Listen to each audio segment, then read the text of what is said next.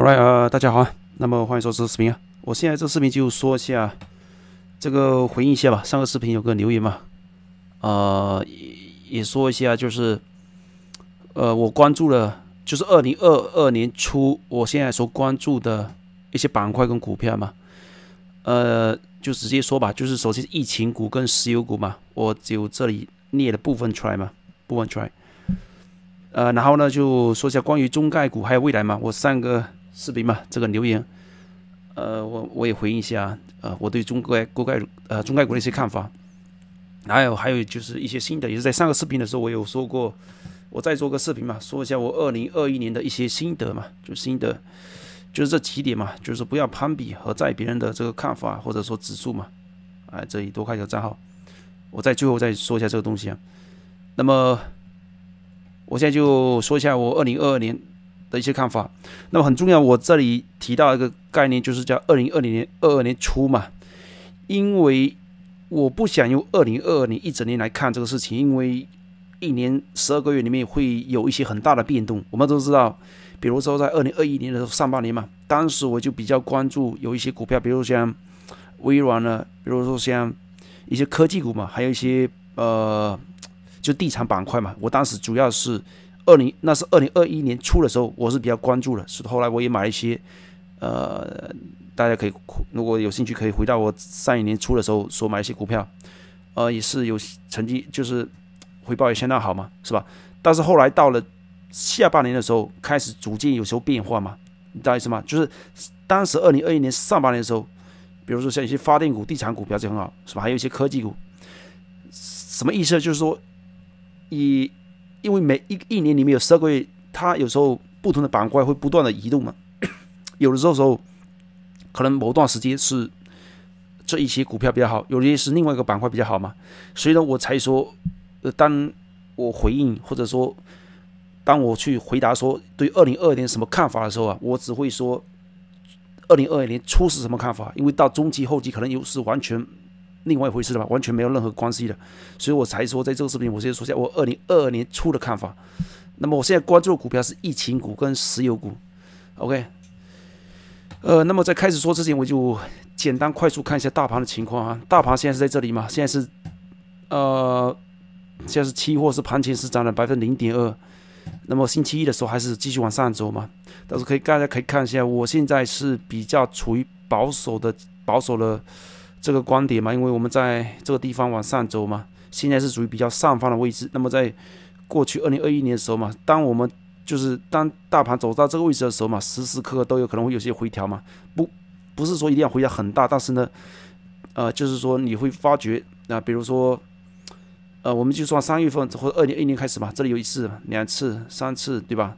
四次、五次、六次、七次、八次，呃，大概是七八次、八九次这样子吧。嗯，当然幅度可能是在两个 percent 或者三个 percent、四个 percent 那么所以这个地方意味着，如果有些坏的新闻出来，那么不需要感到任何意外，会降到，比如说它可能到这上方，到时候直接下来嘛，也许在这里继续反弹，也许继续往下走了。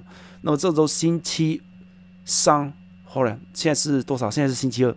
那么星期三的时候有一个就业报告嘛？星期五的时候有非农非农就业报告，那个看一下是星期三啊，所以这周。市场比较关注的是在星期三，这是 ADP 啊，Non-Farm Employment Change 嘛，还有一个是在星期五嘛，是是这个政府的数据嘛，那个是私私有的私人公司的数据啊，所以说这周的话还是星期三跟星期五，特别是星期五会有市场会比较关注的，就是说这里能不能够呃维持得住嘛，啊这个大盘说是现在其实我个人看法是还是比较保守的嘛，然后。呃，看一下这个地方啊，那我现在就现在 CNBC 啊，这也没有什么新闻，现在我不是很关心，没有什么大的新闻吧。这里是中国的这个恒大的这个事情嘛。呃，好的，那我就说一下，我现在关注的股票是疫情股嘛。我这里有个打个引号，疫情股为什么呢？因为疫情股里面有很多股票嘛，有些疫情股我我看法是已经涨得太多了，比如像呃酒店的酒店，比如说像打个比方嘛。MGM，对吧？这个我手上已经钱，我在这里三十九块左右买过嘛。我现在手上还有，我是在这里买的，有些中长线，不是投资啊，是中长线。呃，我现在暂时还留这些嘛，我是打算在这里卖掉。其实，但是这个地方已经已经没有什么意义了。比如像有些酒店行业，其实价格已经没有什么意义了，像有点涨太高了嘛。还有这个，这个都已经太离谱了，价格没有意义了。包括有些订机票的，呃，股票也是涨得太多了，是吧？这些我今天啊，有些都已经全撤掉了。那么哪一些疫情股还有啊，就是比较好的位置呢？那么这里有些例子案例嘛，sorry，例子嘛，我个人看法是这几个嘛。目前还是比较有空间比较大的是 LVS，这个是赌场呢。然后这 CCL 跟 RCL，其实我再加了一个，还有航空公司嘛，AAL，我等下，呃，AAL，对，这里这里有点挤嘛。然后呢，还有比如说像 Delta 之类的，就就是个概念嘛，就不是说一定要哪一个。其实他们有的时候涨幅都差差不多，知道是吗？那我就在旁边呃给你们看看，这是 LVS CCL，这个是游轮嘛？哦，其实 Win Resort 也差不多。我可以看一下这几个股票是属于目前，也就是说我二零二二年初我觉得比较有潜力，就是说。就是盈亏比，如果哪怕是投资还是交易方面比较好的嘛，你可以注意一下，这个是 LVS 嘛，你可以注意到，那么这个地方的位置上是比较强的一个支撑位吧，算是比较强的，是三十六块左右嘛。那么有可能在今年到今年年底，比如说现在是二零一月份是吧？也许到十二月份会涨到，或者说三月、四月、五月份可以涨到六十几、六十、七十，有可能我是有可能嘛。然后 RCL，sorry，另外一个 Win Result。这个也是，呃，很跟它 LVS 非常类似，呃，Win Resort 嘛，赌场酒店的这种嘛，呃，但是它这个酒店又不像那种 MGM 这种酒店嘛，不太一样嘛。这个是这个是核心是住的酒店嘛，那个 Win Resort 跟 LVS 是带有那种娱乐赌场性质比较强一点嘛，啊，所以说，呃，你要是说哪个 LVS 还是 Win Resort 哪个比较好，我。如果说从盘面上来看的话，其实基本上是没有区别的，没有什么区别嘛。也许有的人，比如说有些比较保守的话，可以考虑两个都买嘛，可以两个都买这样子嘛。呃，要么就是选择交易。如果是交易的话，止损大概是在这下方附近嘛。如果投资的话，等一段时间就不用设止损了。你把这个一般来说比把这个仓位的比例，可能拿百分之十的账号，或者百分之十几、十十左右的账号最多吧，或者百分之二十最多几千了。然后呢？不用设止损，等一段时间看看嘛。我觉得这个成功率非常非常高嘛。然后再说下，还有另外一个是 RCL 跟 CCL 嘛。呃，CCL 是游轮嘛。呃，看一下，这是周线的啊。然后还有一个是 RCL，其实我觉得相比之下，我更喜欢 RCL 这个盘面嘛。RCL 这个盘面更喜欢。其实现在价格也不是最理想，实际上之前前上个月价格更好嘛。现在其实价格有点有那么一点点，不过还是如果说实话，如果是交易的话，传统一三中长线我是不考虑的。但是如果从投资角度来说的话，那么还好了，可以呃发展空间还是比较大的。然后是 A L 跟 Delta 或者阿拉斯加航空也也他们都差不多。个 Delta，Delta 的话。其实，就你可以注意到这几个疫情股嘛，几乎是盘面是百分之八九十是类似的。A A L，你看一下，A A L K 或者阿斯加航空，对吧？都差不多，都差不多，是吧？然后还有一个是什么来着？我看波音也差不多吧。对对，他们都差不多了。然后另外一个，呃，可以关注的是石油股。那我先我先说一下，可能有些观众。有些网友会认为，现在美国或者说有些国家疫情不是很严重吗？Omicron 什么七八八的，我可以跟大家说啊，这个从投资角度投资角度来说，没有没有任何的意义，呃，没有任何的影响嘛。因为这这个这个新冠病毒其实，呃，在我不知道我知道在中国是很严，这个病毒看得很重很可怕，但是在西方或者是在比如说我所在的美国，或者大家都知道，其实没有人再去。就是民众真的是没有人去注意这东西。我身边很多人都得了新冠，我也得了。其实我根本就不在乎这东西，完全没有半毛的影响。现在，其实如有在其他国家或者西方国家生活人都知道，是吧？这个我就不多说了。那么民众的话也不担心，该旅游该干什么干什么，知道什么？所以说，接下来还有就是欧米款它的致死率、致命率要远低于 Delta，是吧？虽然说它就是说，就是说传染性很强，但是呢，致命率、住院率呢要比之前貂台要好很多，知道是吧？所以说这个根本不用去不用去担心这东西嘛。就是从投资角度来说，而市场也是，你可以大家可以注意一下，这个市场也在证明嘛。就欧米款最近不是说一大堆，呃，这个数据不断的增加嘛，就是。就是受到感染人不断增加，但实际上你从市场可以反映非常明显，可以看得出来没有半毛的影响嘛，而且不断往上走嘛，所以这是一个非常积极的信号。呃，然后再说一下另外一个板块，就是是石油股嘛，石油股。呃，这里我举一个几个例子吧，叫 WMB 跟 PSX 跟 OKE 跟 BK 呃 BKR 嘛，我就盘面上给给给你们看一下。就首先是 WMB 嘛。啊，非常不错的盘面，非常不错的盘面嘛。其实这个是很典型的这个向上的一个渠道向上走嘛。那 OKE 是吧？都是差不多，都差不多。然后呢，还有什么来着？这个是 PSX，PSX。哦，这个这个的都是一样的。其实前前两个星期是比较好的买点，现在价格有点差了，说实话有点差了，不是最佳位置。有有几个嘛？呃，我前上个星期已已经买了。哦，BKR 我已经买过了，对，哦，no no no，我是今天又买另外一个 WMB，好像忘记，其实石油股我已经买了两个了嘛，上周已经买了，对，是这样子嘛，嗯，好，这就是我回应一下嘛，就是我所看到，就是主要的板块，并不是说其他股票不涨，但是我现在你你就是我一定要脑中现在选择最明显的板块的话是这两个板块，其实这个疫情股有点像是非民生必需品板块嘛。呃，有点像呃，所以说这这两个嘛，呃，其他公司其实还有好几个不错的公司，像 Concast 这个也是很有前途的长线股嘛。说实话，也是很有长很有前途的长线股是可以考虑。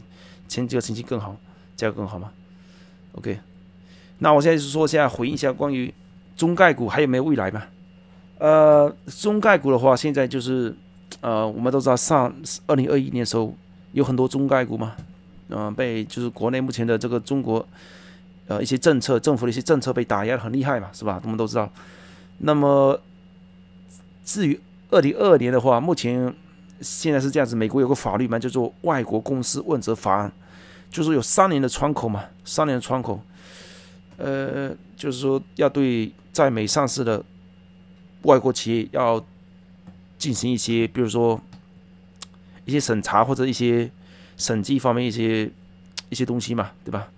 那么现在已经好多公司，你看，比如像很多公司开始，他们开始到这个香港上市嘛，是不是？那我，那你要是说我个人看法，其实如果其如果是长线投资，那说实话，我是我目前我个人在投资里面，我所有股票里面我没有一个中概股，我没有一个中概股，呃一呃一般情况下我没有打算去买中概股嘛，就是毕竟有些可能一些政治有些。东西比较敏感，有些风险嘛在里面。因为本身美国本身我在美美国本土的企业就已经有很多好的公司，所以对我来说也没有必要一定要去去找其他国家的公司嘛。因为在美国已经有很多非常优秀的，呃，非常赚钱的公司嘛。但是呢，我就回那么从另外一个角度来说，值不值得来做一单，比如说中长线的交易，或者说投资个放个一两年这样子，可能有些人会这样想嘛。我个人看法是觉得可以考虑，我是觉得可以尝试，但是非常重要一点就是在于怎么买。很多人啊，我注意到，包括投资交易，我觉得很多人就是有个情况嘛，他就是说瞎买，然后就是还还有就是买了之后他没有一个测的概念。那么尤其是交易非常重要，因为我平时像我交易有时候常常会用一些一些。融资或者就就是用用点杠杆嘛，我我经常会这样子嘛，所以说在特别是有用杠杆情况下，非要非常非常小心嘛，因为你不然的话，马交易一一有问题，你就马上很容易爆仓或者账号腰斩了。所以呢，我就跟大家说一下我的看法。如果说我要做阿里巴巴或者拿做京京东或者说百度，我看一下百度什么情况啊？就是我会怎么做好吧？我跟大家说我会怎么怎么买法，跟大家说一下。百度是吧？OK。那我的看法有没有未来有没有前途？我是觉得，呃，只要有百分之五十的可能性，我就已经够了，知道吧？就已经够了。那么我是这样理解的吗？如果要做波音这一单嘛，呃，sorry，啊，爸爸阿里巴巴这单嘛，呃，通常情况下我是这样子嘛。如果说有兴趣的话，有前途的话，但我现在我是我首先先声明一下，我目前买的股票啊，可以说基本上从来都是我是基本上全部都是买 S N B 五百里面的股票。然后呢，我 S B 五百以外的股票，我我可以从理论上讲，除非极端情况，我从来就是我不会去买 S B 五百以以外的股票嘛。我先这里我先跟大家说实话，是吧？但是呢，如果说要买的话，是吧？那那关于怎么个买法？OK，我这个标准我是统一的，不但只是在，就不管什么中概股或者什么股嘛，我至于怎么进场，我一般来说就是一样的。知道意思吗？OK，我跟你说一下，我是如何看待这个东西嘛。他如果说是阿里巴巴买的话，我一般会说，你可以就是有一种买是先买百分之五十，OK，或者买三分之一，或者买三分之一，先在这里进场，OK。那么买了之后，呃，等下我先看看它的业绩报告什么时候。OK，业绩报告是在二月二号，也就是还有一个月的时间，一个月时间嘛。那么还有一些时间，OK，那没关系。那，比如说，我们先，如果是买了，先在这里买百分之五十或者三分之一，我一般喜欢买百分之五十，这样子嘛。如果是不管是投资还是交易的话，你买了一半之后呢，或者三分之后呢，接下来就不要再买了，等等到它这里，等到它价格涨到，比如说啊，比如说涨到价格涨到一百二十五的时候，价格涨到一百二十五的时候再买百。百分之二十五，这是一种方法。如果胆子大的话，很有信心的话，可以再买另外的百分之五十。但是有一种保守的话，就是说，比如这里已经买了一半了，如果它价格到了一百二十五，再买剩下百分之二十五，OK。然后呢，可以考虑等到一个月之后，到时候价格有可能涨到一百二、一百三、一百四都没关系，到时候再加剩下百分之二十五嘛，或者说，或者说，再看情况是吧？那么如果说买百分之五十在这里。对吧？比如说，如果说明天是打比方二百二十嘛，买进去之后呢，结果呢，它就第二天就蹦降，一直降一百一十、一百一十三，是只要是降的，那么这种情况下就不要再加仓了，没有意义，知道吗？就是这个这个这就是如果它如果它价格这里买进去，如果它价格跌破了这个地方，比如说一百零七，你如果我打比方，如果跌破一百零九的话，那可以考虑放弃嘛。我如果说我的话，可能就考虑放弃了。这里我讲的是中长期嘛，但如果说它价格没有跌破一百零九或者一百零零一百一十这样子嘛，然后呢，它在这里徘徊震荡，只要它那那 OK，那继续留着，一直等到它有个明显的一个大的上涨的时候嘛，再加百分之二十五嘛，OK，这样子嘛，那这就是我的我对这个东西的理解嘛，就是说先买一半或者三分之一，接下来等一个星期或者一两个星期看看它什么表现，如果好的话加仓，如果不好的话就放弃。呃，或者再等一段时间啊，这个你可以有很非常灵活嘛，这个非常关键。然后至于要拿百分之多少仓位，那我个人看法就是说，呃，胆子大的人啊，就是我个人认为不要超过百分之二十。也就是如果你有一万块的话，一万的话，或者是以如果是投资的话，或者说不设止损那种嘛，就是一万的话拿一千或最多两千来尝试，你知道吗？不然的话，如果说是是这种交易的话，我一般来说是拿百分之二。Two percent stop loss 就是一万块的话账号，那我可能拿两百或者三百啊去做这种单子嘛，这样子嘛。目标价是多少呢？当然目标价那可能是一百八十或者一两百多嘛，就是说可以等个两个月、三个月，甚至半年、一年这样子嘛。这个其实确实，如果说政策中国那边政策能够转变的话，其实确实说实话，阿里巴巴的上涨空间是相当巨大的，就看起来确实感觉好像非常便宜现在这个价格嘛。OK，至于 JD 京东的话，OK，京东其实看起来更好一些，就是它从之前的二零疫情爆发的时候嘛，从这里基本上疫情爆发的时候是两千年二零二年三月份是吧？从这里嘛，现在其实确实看起来比比那个阿里巴巴更好一些吧，就是说可以考虑，就这里也是刚才跟阿里巴巴同样的操操作方式嘛，就先买一些，然后看看它接下来怎么。